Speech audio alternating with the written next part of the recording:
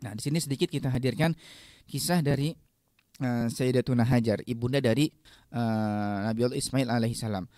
Ini sekaligus pesan buat para akhwat, para ibu-ibu yang soleha. Ayo jadi perempuan-perempuan seperti seperti beliau ini. Luar biasa, syukurnya ini besar. Ya, sebelum kita bacakan kisahnya, uh, Nabi pernah mengatakan dalam sabdanya, la yanzurullahu tabaraka wa ta'ala ila mra'atin la tashkuru li zawjiha wa hiya la tastagni anhu. Allah nggak akan melihat. Maksudnya kalau Allah nggak melihat berarti Allah nggak akan memandang dengan pandangan rahmat. Allah nggak akan sayang sama dia. Allah nggak akan memandang kepada seorang wanita yang tidak pernah bersyukur kepada suaminya. Nuntut lagi, bang, kok cuma segini sih uang belanjaan mana? Hati-hati, nggak akan dipandang rahmat oleh Allah Subhanahu Wa Taala. Bahkan oleh Imam Sya'rawi dikatakan wal mar'atul jahidah lini amillah al kafuru bi isani zauji tolakuha roha. Jadi kalau ada perempuan yang dia nih sukanya nuntut terus nggak pernah syukur dengan pemberian suami, itu diceraikan malah tenang kita. Ya kan karena nih hmm. bikin bikin ribut. Suami itu ketika pulang ke rumah sudah trauma dia, aduh jangan-jangan bakal disemprot lagi nih nggak punya uang nggak bawa apa. Itu ketika diceraikan malah malah ketenangan buat kita. Ya buat sang suami itu. Maka hati-hati jangan sampai menjadi perempuan yang begitu. Baik, insya Allah yang mendengarkan para akhwat adalah perempuan-perempuan wanita soleh semuanya yang ahli syukur dengan uh, segala yang Allah berikan dan juga yang diberikan oleh sang suami. Baik, kisah singkat dari uh, istri dari Nabi Allah Ibrahim, ibu dan Nabi Allah Ismail alaihi wasallam adalah suatu ketika Nabi Ibrahim Allah uh, utus, Allah tugaskan datang ke kota Makkah, ke kota Makkah, Bakkah, ya. Dengan Nabi Ibrahim datang membawa membawa si istrinya Sayyidatuna Hajar dan membawa putranya yang masih bayi Nabi Allah Ismail alaihissalam yang masih nyusu. Saat itu di Makkah itu belum ada orang sama sekali, nggak ada penduduk sama sekali.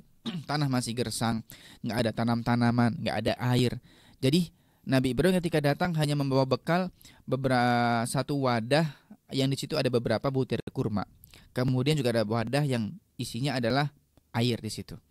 Ternyata setelah ditaruh di di di dekat Ka'bah itu di dekat di Masjidil Haram, Nabi Ibrahim pergi Ditanya oleh Nabi Ismail, kamu mau ke mana wahai Ibrahim? Kamu mau ke mana? Terus tanya, enggak dijawab dia. Beliau enggak menjawab.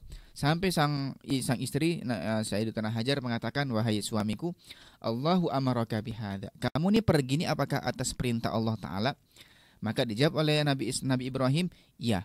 Ini adalah perintah Allah katanya. Saya naruh mudi, saya naruh kalian di sini, kemudian saya tinggal. Ini adalah perintah dari Allah.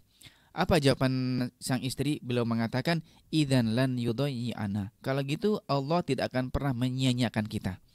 Kalau Baik. sudah ini adalah perintahmu, pasti Allah akan menjamin kecukupan rezeki kita kata beliau. Yakin beliau. Padahal secara zahir ini nggak ada apa-apa ini, nggak ada minuman, nggak ada tanaman, nggak ada orang. Tapi begitu yakinnya kalau memang adalah perintah Allah, Allah pasti akan menjamin rezeki kita. Yakin beliau. Beneran beliau Nabi Ibrahim pergi, sang istri akhirnya sudah nyusuin akhirnya habis kering air susunya karena nggak ada asupan.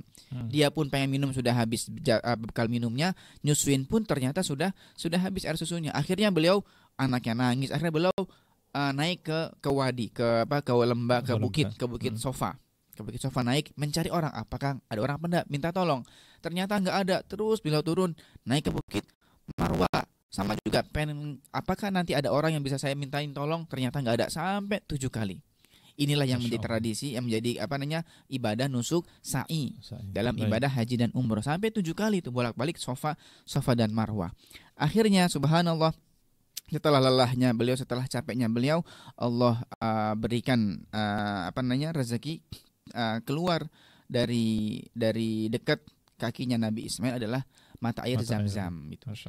Jadi susah payahnya terbayarkan gitu loh terbayarkan. Tadi kan ya, eh, berawal dari rasa iman, rasa yakin ya. Kalau memang ini adalah perintah dari Allah, wahai suamiku, Allah nggak akan menyia-nyiakan kita, akan memberikan kecukupan. Jadi harus yakin begitu.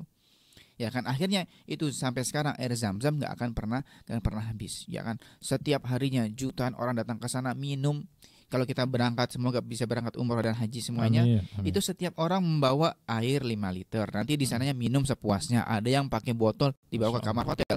Nggak pernah habis nggak pernah kering sumurnya.